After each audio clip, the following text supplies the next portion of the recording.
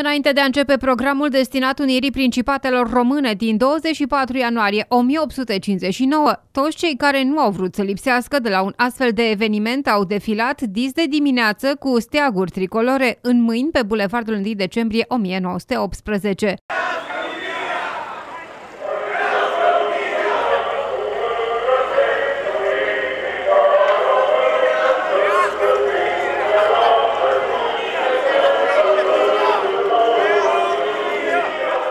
În drumul lor aceștia au făcut un mic popas în fața plăcii memoriale care se află pe clădirea Casei Naționale de Asigurări de Sănătate din Deva. Asta pentru că aici a fost locul hotelului în care domnitorul Alexandru Ioan Cuza a poposit în drumul său spre exil.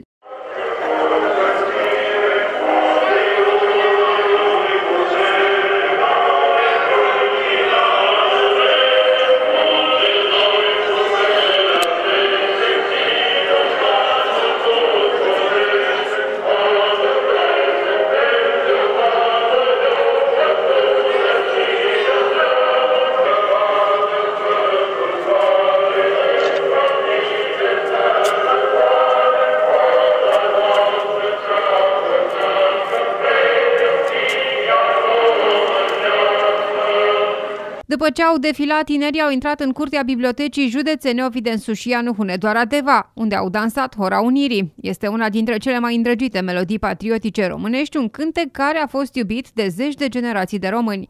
Peste două zile se vor împlini 157 de ani de la unirea Moldovei cu țara românească, de la așa numita Mică Unire, cea care prevesc mărețul an 1918, anul făuririi României Mari.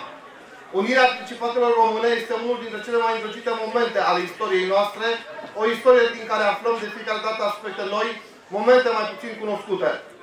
La înfăptuirea Unirii, de la 1859, și-au adus contribuția mari oameni de stat, mari patrioți din țările române, precum Mihai Cogălnicianu, Vasile Alexandrii, Costache Negri, Dimitrie Politineanu, Alecu Rusov, Ion Ghica, Ion Ceprătianu și mulți alții, numiți pe drept cuvânt artizanii Unirii făuritorii actului de la 24 ianuarie.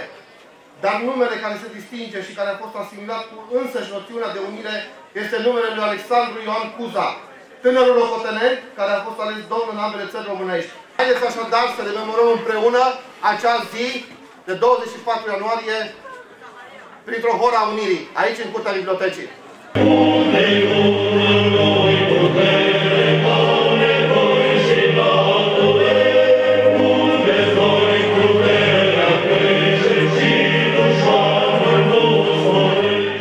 Acest moment, în sala de lectură a bibliotecii a urmat o evocare intitulată Alexandru Ioan Cuza, Domnul Unirii, la care au luat parte elevii de veni ai claselor a treia și a patra. Ca de obicei, la finalul prezentării, elevilor le-au fost adresate întrebări, iar răspunsurile corecte au fost recompensate cu premii constând în diplome și cărți oferite de Biblioteca Județeană. Care dintre țările europene susțin unirea principatelor române? Tu ai ridicat de acolo, da? Da. Rusia și Sardinia. Bravo, excelent! Primul câștigător! Bravo!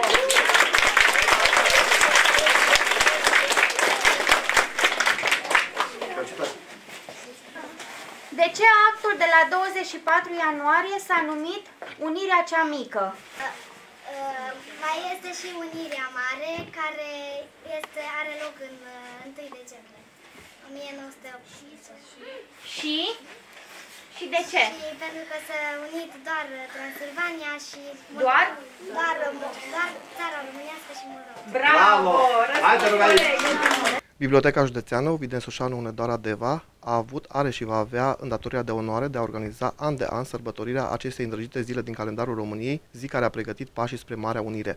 Iată este al șaptelea an când aici în Curtea Bibliotecii Județene se adună la oaltă profesori, elevi, bibliotecari, prieteni ai Bibliotecii Județene pentru a dansa și a cânta Hora Unirii. Ea nu este un simplu cântec, ea este un creș și un legământ pe care fiecare român îl face în fața poporului său, în fața patriei sale.